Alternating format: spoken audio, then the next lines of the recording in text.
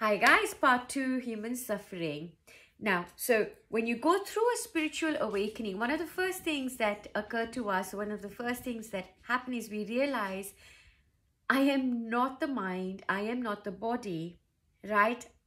You are something else, right? And that the body is our vehicle right now, this present body that we have is our vehicle. And for now, this vehicle is serving us. This vehicle is serving our purpose, which is basically just to have the experience that we have signed up to have using this body as our vehicle. So it is what serves us best. Now, as we're having this spiritual awakening and we go through this realization, does that mean that your suffering that has that you've already been at the behest of will end. No, not really, not immediately. It doesn't go off. Now, as you have this realization, initially there's like, oh wow, you know, I know I'm not the body. Initially, it's a very mental exercise as well, leading up to an awakening. But when you have an awakening, yes, there has been a paradigm shift of consciousness, but you must allow for that to sit in you. So the body will have to go through a healing crisis.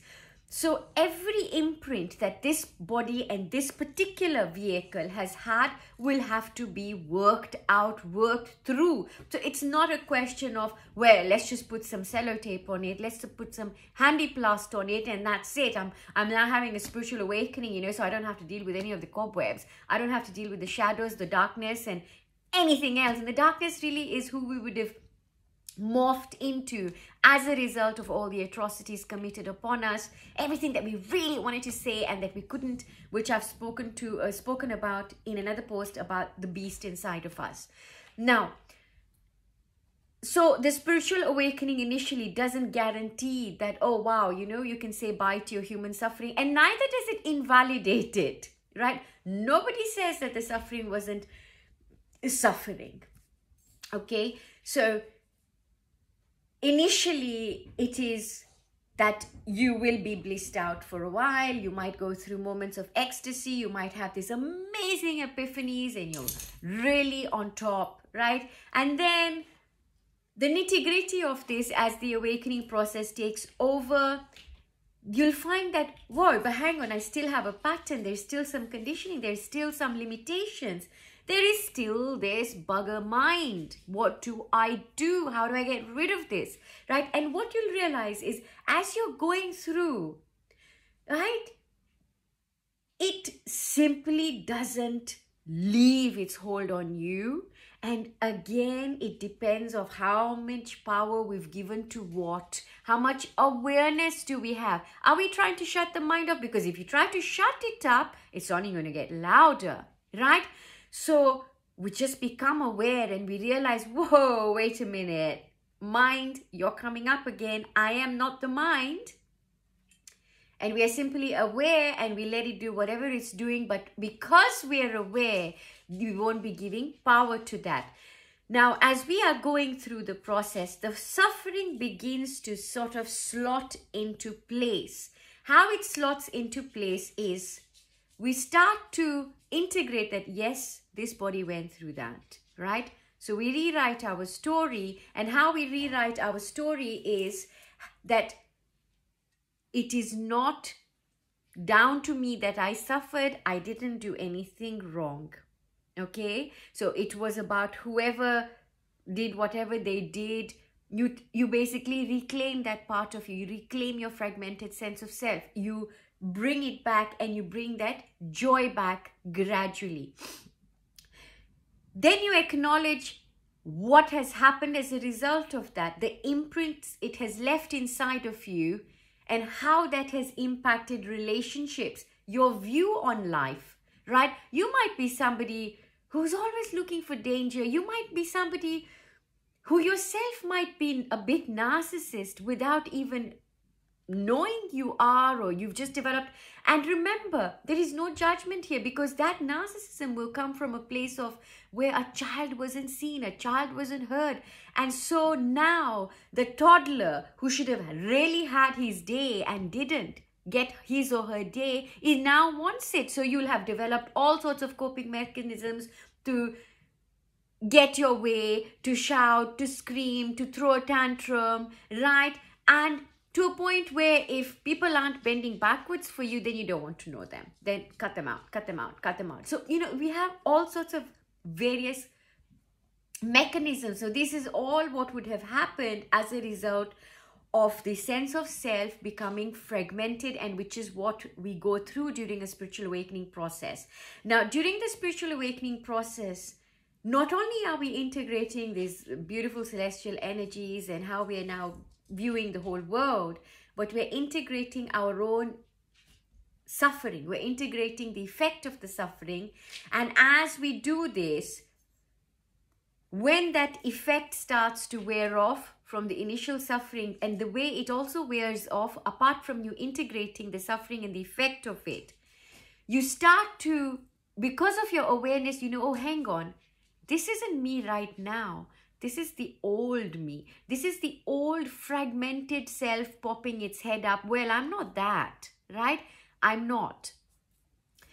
Because you're now identifying with all that, so you are infinite. You are this cosmic being, you're a celestial being, galactic being, however you want to call it, a soul, spirit, whatever, but you know that you're infinity personified. So you'll find that the hold that the suffering or the effect of it starts to wear off.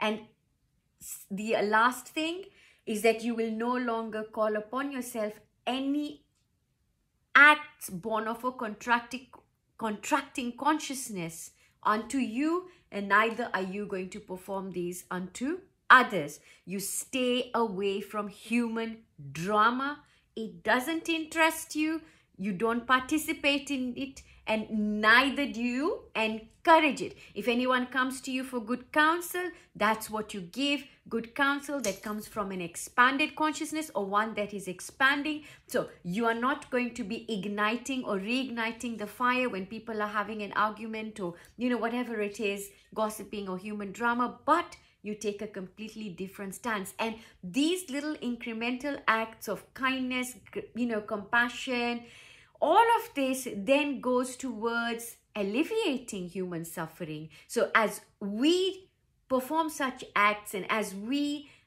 live more heart-centered, live more heart-centered lives, right?